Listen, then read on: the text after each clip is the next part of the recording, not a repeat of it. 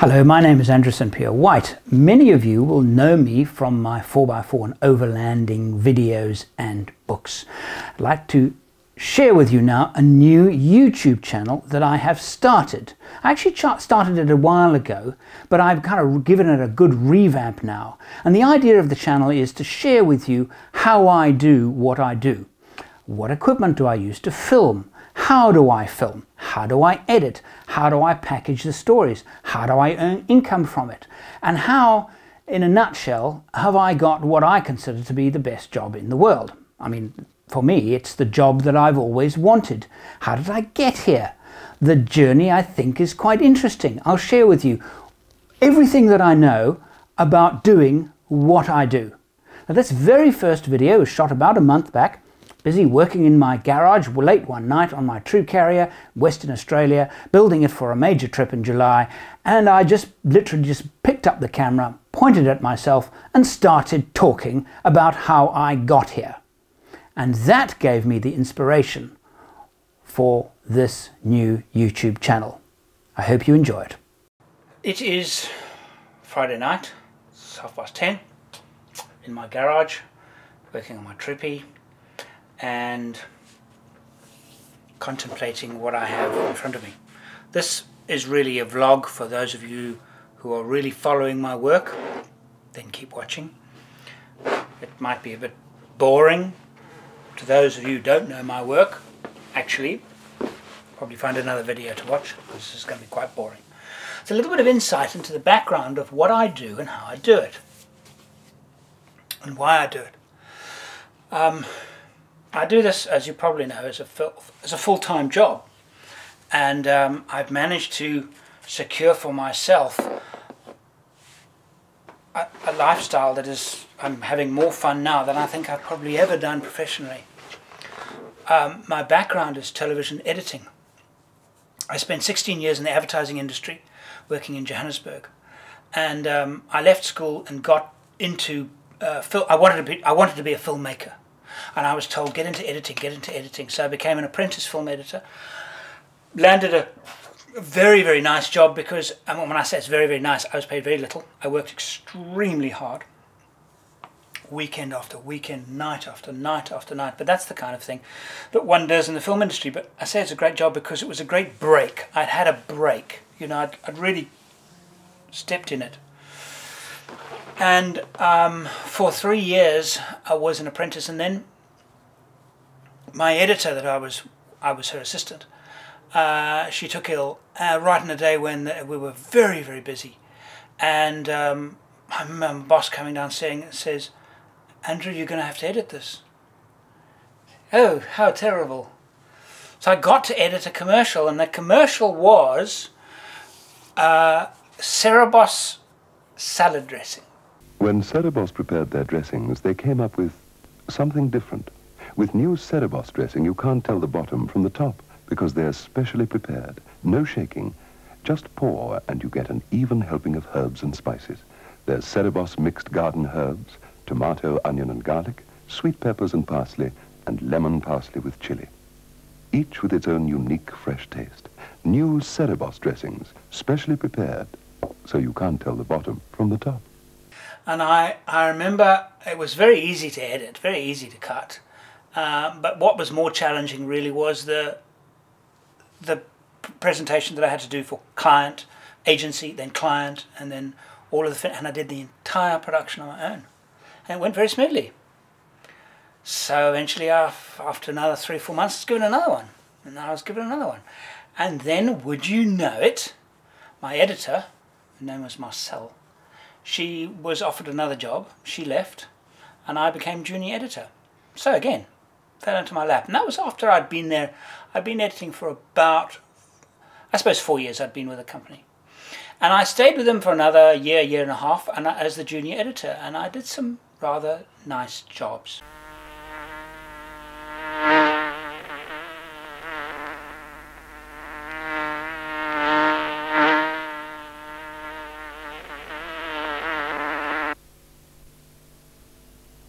This commercial is about to demonstrate the deadly effectiveness of Baygon from Bayer. See? Even the cap works. My friends used to say that I always landed my bum in the butter, which is, was not altogether true. But um, I edited a picture for Blossom Margarine for an, a director called Ashley Lazarus. Hello? I think he's out. Out to lunch. Oh. Great friendships blossom with the great taste of blossom. Who was a big time director. He was one of the three top, the big three top directors in South Africa. He also did a lot of feature films and he did all of the Peter Stuyvesant, the Paul Revere's, all of the big Rembrandt groups, Castle Lager, Lion Lager, uh, the big banks. He was a he was a the big cheese when it came to directors. And I remember editing this picture for him, and afterward looked at the rushes, which are the dailies, the footage. I said to him, he said to me, "I'll see you in the morning," and I said, "No, you won't. You won't see me in the morning. You'll see me tomorrow afternoon." And he looked at me strangely, and I said, "If you want the best out of me, you'll leave me alone." And I remember his producer looking at me as if, "How dare you talk to Ashley like that?" He had that much stature, but Ashley was a different. He was different to everybody else. He was he was a big cheese, but he was he was a really great human being. And he smiled at me and he said, I can't believe that you said this to me. And he looked at his producer and says, I've got tomorrow off. What am I'm going to take my wife out for a long breakfast. He was so happy. He came in at 2, 3 in the afternoon, I don't remember the time, liked what I'd done a lot. We had a rapport immediately. Immediately we had a rapport. We just got on. And he, he, I learnt an enormous amount from that man. And I actually was headhunted after I did a number of pictures of him. I was headhunted by a post production company and uh, I edited Ashley Lazarus's pictures, almost all of them, for approximately four years. I did a whole lot of the great cigarette adverts, uh, Paul Revere. I did about I did five, Paul, uh, uh, five or six Steve, Peter Stuyvesant. Peter Stuyvesant, alive, vibrant, full of fun. Peter Stuyvesant, the international passport to smoking pleasure. And uh, lots of beer, all of the big, the blue chip clients. Was good at editing. Great outdoors. That feeling of freedom. Wide open spaces. It was, I, I suppose my teacher, firstly Marcel was a good editor and I learnt a lot from her. Ashley was a wonderful editor and I learnt an enormous amount from him. So I had great teachers. Became Conan.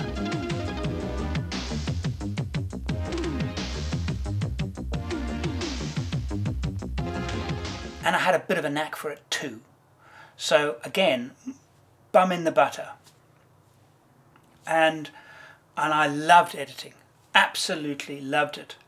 Then we were editing 35 millimeter film, and um, we, we were moving into the the digital era. Sorry, not digital, video era, moving from film to video. So we went and started editing on what they call offline U-matic, big thick videotape. But they were linear, so you add that shot, then that shot, then that shot, and that shot. It was it was, and I, all the spirit went out of editing when I when I got into video because you I didn't have the creative freedom, and also holding celluloid. Actually, holding film and winding it's a, it's wonderful stuff. It has a a life of its own and I lost interest in, in editing. And I continued, and I had my own post production company, and I made quite a bit of money. I, I did well. I owned two houses, two four wheel drives, an aeroplane, and I was doing okay. But I began to hate it. I began to hate the advertising industry. And while I'd I, I, you know, had the four-wheel drives and I was driving them around and, and, and having fun with them and I was thinking about, you know, one day I should write a book. Because I was, uh, people started asking me a lot of questions because they knew that I was doing these lovely trips in my Range Rover and people were asking me, well, how do you, where, how do you, how do you do that? How do you, you come back from Botswana after two weeks in this incredible adventure with beautiful pictures? How do you do that? So the idea of writing a book came up. My birth, first book was actually published in, in 1993. But I got tired of advertising, the advertising industry, and eventually, I mean, I would have, not kidding, I, I've never been into drugs, ever. Even when I was just out of school, I, I just, I've never touched drugs. I just, they just, I've never been, in, even, even a joint. My mates used to smoke. I never touched this stuff. Something about it just didn't, I didn't want to. My clients, my the director and Ashley had gone to the United States, so he was no longer a client, but other other directors, and he, they would snort cocaine. They would take my pictures, my beautiful pictures, framed pictures, off the wall of my editing room, and they would, and he would sniff cocaine off them, and drink copious amounts of of uh, of whiskey, uh, alcohol. I've never been a big drinker and this and the egos in the advertising industry. Oh, and eventually I just had to get out. I just had to, I had to do something differently. And at the time, I had met Gwyn, and uh, we'd been dating for two or so years, maybe more, and um, we got soon after, very soon after we got married. I said to her, "We've got to do something different." I just, you know, and she was in about the same place. She'd been doing copywriting and various things like that. Well, we both decided we wanted to just have a sabbatical escape. We sold a house, we sold aeroplanes, sold stuff, stole stuff, uh, kept the Land Rover, sold my Range Rover, and um, and that's when we went to the Okavango for our year, which was 91, 92. And we wrote the book Torn Trousers.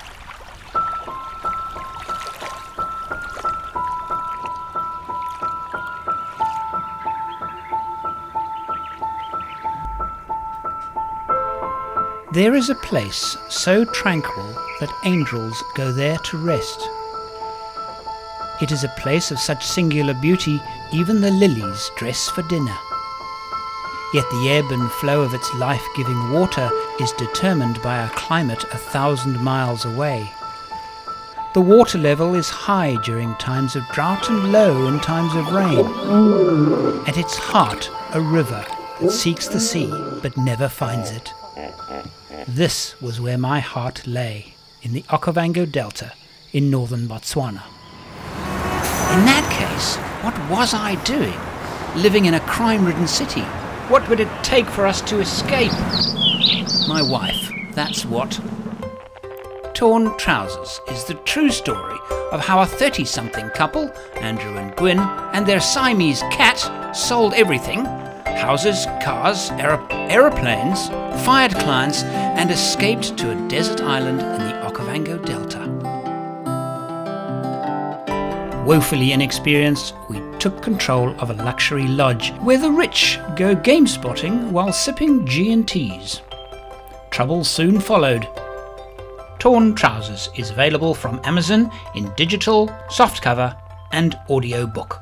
Some of you may know Torn Trousers has become a bestseller. It's doing extremely well, still selling very, very well.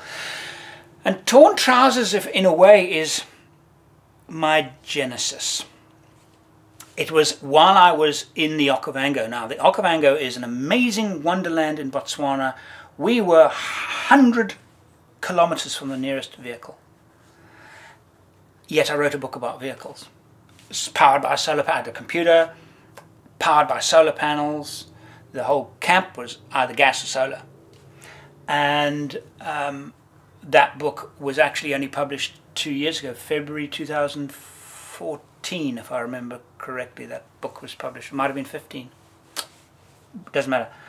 And that that the, the book came out 20 years after the actual event, but it, it took us that long to actually get to the point where we felt we could actually do it justice in terms of telling the story and I credit Gwyn with that because she writes writes fantasy novels and she's a very skilled writer and a skilled storyteller.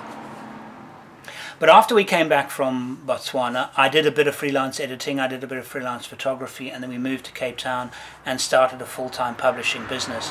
And I wrote, a, I wrote, um, I, we wrote 93, 94, 95, we co-wrote three books. And then the publisher, we were we were uh, who were publishing our books went bankrupt. The name was William Waterman. And uh, a big publisher wanted to buy them out, but they would only buy them out on one condition, and that was that our titles stayed with the new publisher. And we thought, you know something, we could make a go of this. We could actually make a business out of writing books. And we thought maybe we should do some videos, maybe we should do some maps. And we basically packed up our film industry background left Johannesburg because Johannesburg had become a very difficult place to live in. The crime was awful, and I none of us liked Johannesburg very much. It had become a, not a nice place to live. It once was, but it became awful. And Cape Town was almost like an island in South Africa. It still is to some degree, and um, the lifestyle in Cape Town and, and is quite different. And we we were very successful. And we did that basically until we left South Africa in 2013. And during that period of time, we, we were the first people to do 4x4 uh, VHS tapes. And I remember having an going to an expo. I used to go up to Johannesburg once a year to do an expo, every year. And we had the best show ever.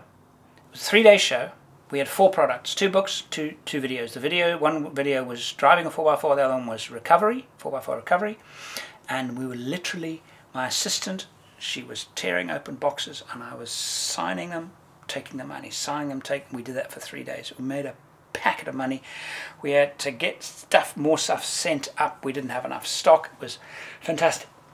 And that business kept us going and we then had a family and it kept us alive and did really well for us until 2013 and at that time it was closing in on us. I sold the mapping business we did. I did I think 16 map titles if I remember correctly.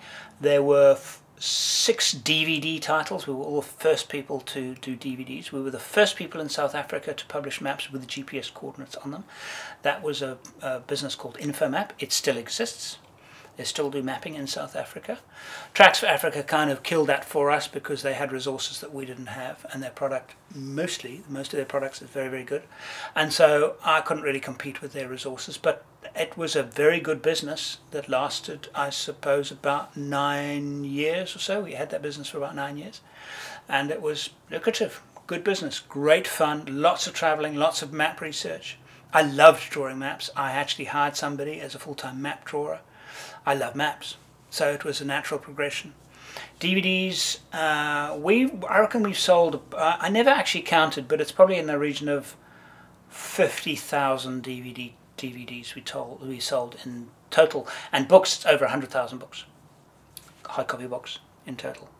Now, of course, our business is purely digital, and in the digital era, has made what I do now possible.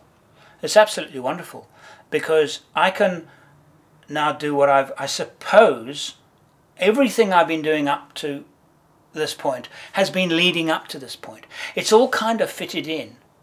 And while I no longer live in Africa, and I miss Africa terribly, I don't miss living in South Africa at all, but I miss Africa. I have an Africa, I'm, um, part of me is African because of all my exploration. And I'm about to go exploring Australia, which I'm really excited about. And as I sit here building the Land Cruiser, I keep rolling back. I want to do some solo trips, and, now I'm doing Canning Stock in, in, in, three or so months' time. And all of these, you know, and I'm preparing this for my adventures in Australia.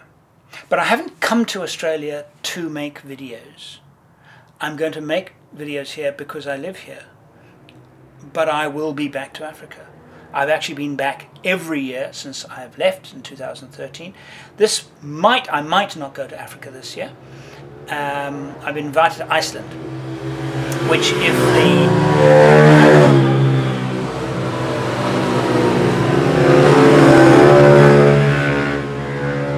That's very unusual, extremely unusual. It's normally it's such a quiet street here. Anyway, hoons they call them.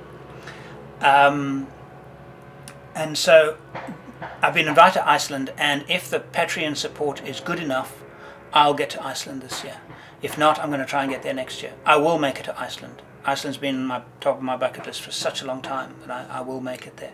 But if I do go to Iceland, it means I won't go to Africa, and it'll be the first time in 42 years that I actually haven't stepped foot on African soil. I love traveling in Africa. I feel very at home in Africa, particularly in Botswana and Namibia and Zambia. And I've got a trip planned. How's this for an idea? To investigate the best places in Africa south of the equator to camp and watch game at the same time. Many are in national parks, some are not. And I know the subcontinent very well. I don't know Zambia particularly well, and I don't know Tanzania at all. So Tanzania will be new for me. Zambia will be my second, or at my third trip, my second major trip. And I won't do Namibia again, but I will do Botswana extensively. How about that for next year? That's what I'm thinking about doing. And what I would love to do is build a vehicle in Africa. I would love to build a vehicle in Africa and actually have it there. You know, I was thinking maybe an 80 series Land Cruiser or 105 Land Cruiser diesel, and just have it parked in in Africa so I can just know it's there. Air tickets from here to Africa are not hugely expensive. They're not cheap, but they're not hugely expensive. And uh, with the weak currencies in Africa, it's not overly expensive to, to go there and, and get around. So you caught me on a Friday night, and I just thought I'd grab my camera and come and tell you a little bit of my history, which has led me to this point where I don't stop working because actually having fun is not as much fun as working. Honestly, it's not. Because I'm working now, I'm preparing my vehicle. But I'm not working. I love doing this. This is what I do. So I take the word out of, the words out of Stephen Fry's mouth. Work is more fun than play. I'm, I'm, I feel privileged that I've got to this point. And so keep watching, and thank you for indulging me with this little bit of sharing about my about how I managed to find my way here. That's not what I was going to talk about. I was going to talk about plans I've got in Australia, but it kind of just, my thoughts took me elsewhere there's some amazing, this place has got some astonishing places to visit. Absolutely out of this world. I shall be getting there and I hope you will come and share my journeys with me.